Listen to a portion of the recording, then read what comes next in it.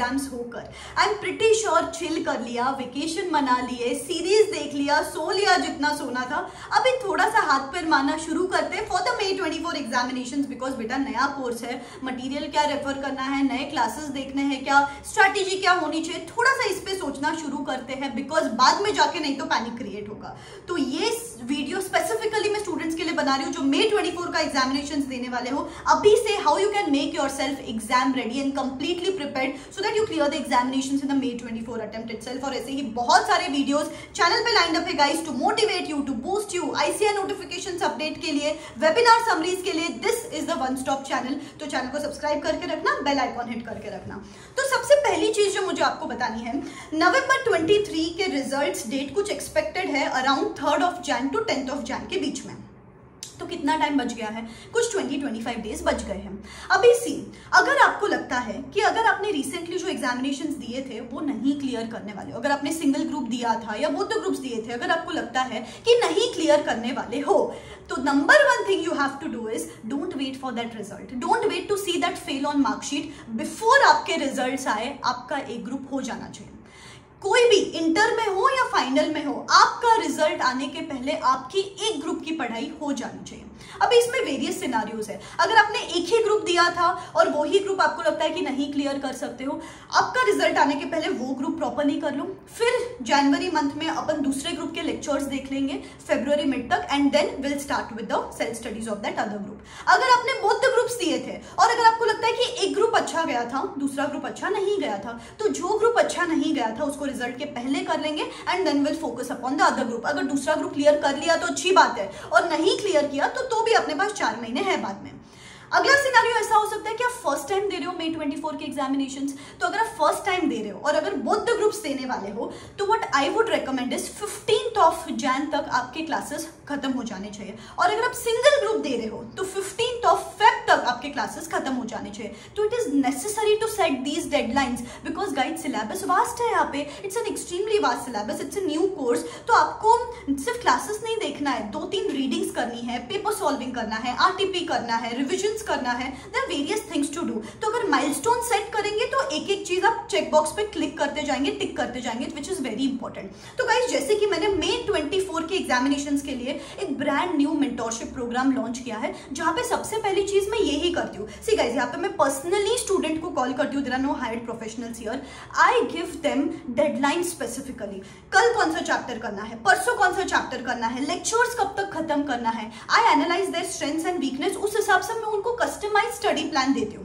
Because see guys क्या है ना? हर एक का बैकग्राउंड अलग हो सकता है। कोई वर्किंग है कोई होम uh, मेकर है कोई आर्टिकलशिप कर रहा है कोई मॉम है ऑफ़ टू किड्स तो उनके हिसाब से उनको शेड्यूल देना मैंडेटरी तो I give them personalise schedule daily routine देती हूँ।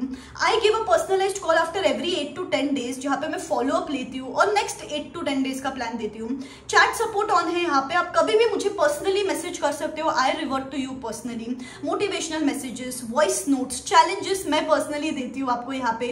डेली परफॉर्मेंस ट्रैकिंग होता है। इसके साथ साथ वीकली रिपोर्ट आपके परफॉर्मेंस के हिसाब से हम यहाँ पे जनरेट करते हैं।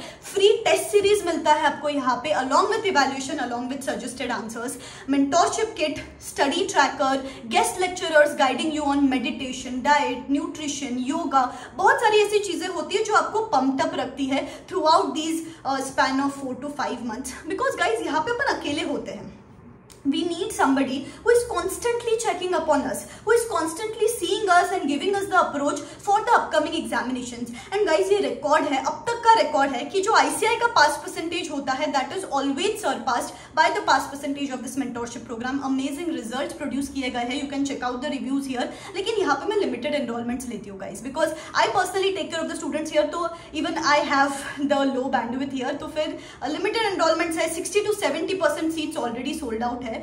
तो if you want to enroll this is the time because बाद में मुझे स्टूडेंट्स मैसेज करते हैं कि मैम कब सोल्ड आउट हो गया? समझ में नहीं आया। तो I am telling you personally this नीचे डिस्क्रिप्शन बॉक्स में लिंक दे रही हूँ।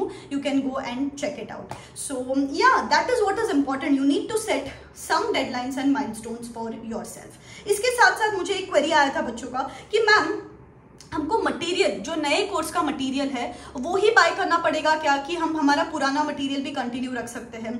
What I would recommend is guys कि आप नए कोर्स का ही सिलेबस मटेरियल डाउनलोड करो। नए कोर्स का ही मटेरियल परचेज करो because various question have been added syllabus भले ही ज़्यादा चेंजेस नहीं है सब्जेक्ट वाइज जो चेंजेस है चैप्टर वाइज जो एडेड डिलीशन है, उसके बारे में मैंने एक वीडियो बनाया है, यहाँ पे लिंक छोड़ देती हूँ, आप वो वीडियो देख लेना।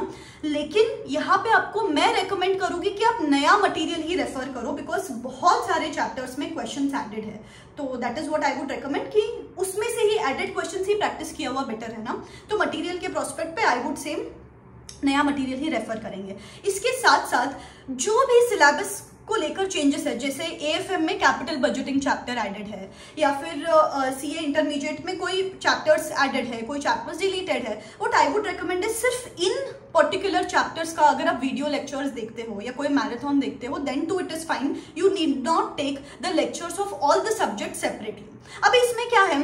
अगर आपका पहले से ही कोई सब्जेक्ट वीक है, अगर आपको लगता है कि कोई चेंजेस नहीं है नए सिलेबस में और ओल्ड सिलेबस में, लेकिन ये मेरा पेपर वीक है कॉन्स्टेंटली वीक है तो उस सब्जेक्ट का लेक्चर आप हंड्रेड परसेंट ले सकते हो. नेक्स्टली अगर आपने अभी प्रीवियस एग्जामिनेशन दिया है तो what you have to do is you have to take a note of the mistakes which you committed मैं हमेशा एक बात बिलीव करती हूँ there are no regrets in life there are just learnings to learn out of your past attempt कि मैंने revisions नहीं किए थे क्या?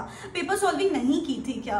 या मेरा स्पीड में प्रॉब्लम हो गया क्या? Exactly where did I go wrong take a note of it एक प्रॉपर अप्रोच उस तरीके से बिल्ड करो सो so दैट इस बार सेम गलती ना रिपीट हो। ठीक है? Proper study plan for May 24 examination बहुत ही जल्द मैं चैनल पे डालने वाली हूँ सो दैट आपको पता रहे कि मुझे कौन सा सब्जेक्ट कब तक करना है so stay rest assured of it ठीक है?